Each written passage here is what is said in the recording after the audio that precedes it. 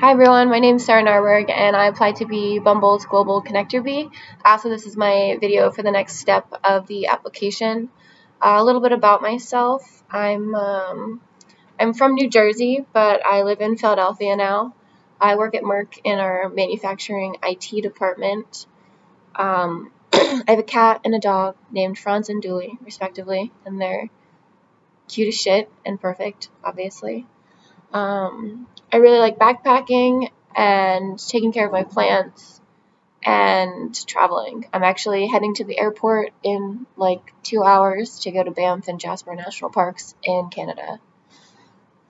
so I'm supposed to talk about what Bumble is and how I would use it as a global connector bee and how I would explain it to people as I travel. Um, so basically, Bumble is a one-stop shopping for connecting with people. Um, I know millennials kind of get a bad rep at being stuck to their phones all the time, uh, but Bumble is a way for us to use our phones and actually meet people face to face. So there's Bumble BFF, Bumble Date, and Bumble Biz. So Bumble Date, if you're looking for a romantic partner, looking to fall in love, to go on dates, anything in between. Um, that's what you use Bumble Date for.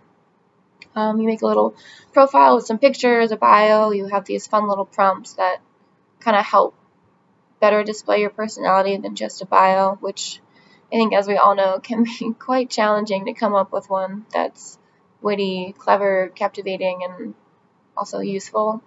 Um, then you swipe right if you're interested, left if you're not.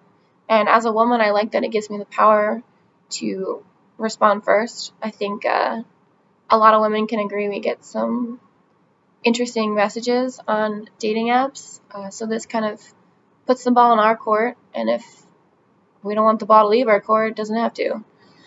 Um, so Bumble BFF is basically the same thing, but if you're looking for friends. And then Bumble Biz is again the same thing, but if you're looking to make professional contacts and professional networking. Um, so that's basically how I would explain what Bumble is and how would I use it as a global connector bee. Um, I think going around the world traveling and using Bumble Date would actually kind of remove the pressure of a first date. Uh, if it goes well, you can set up a second date, but if it doesn't go well, you never have to see that person again. Um, it's kind of a win-win for all parties involved. so I think that would be super fun, kind of traveling the world and going on on dates. And if it leads to something, it does. If it doesn't, I got to go on dates all over the world um, and travel all over the world, which is a huge plus for me. Um, for Bumble BFF, I would probably use that to have people show me their version of their city. Um, so it's it's really easy to go and find all the tourist attractions and it's easy to go and do them on your own, but it's hard to get a feel for what it's actually like to live in a city when you're traveling. So I think Bumble BFF would be super helpful in that because you could just you can meet and match with someone and be like, show me your version of Edinburgh, or show me your version of I don't know Lisbon.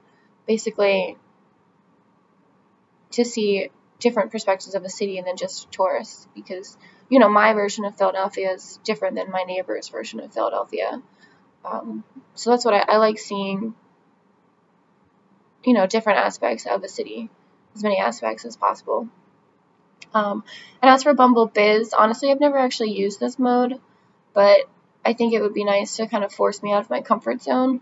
Um, so my company is a global company, so I, I have global connections, but it's just connections within my company. So I think it would be rewarding for me both professionally and personally to use Bumble Biz as I travel the world, both promoting Bumble and actually using it to make some global connections. Um, and on, honestly, building a professional network can never hurt, really. So, again, a win win for all parties involved. Um, so that's that's how I would explain Bumble to someone. Pretty quick and easy explanation. Um, that's how I would use it as a global connector bee. So please, please consider me. Thanks.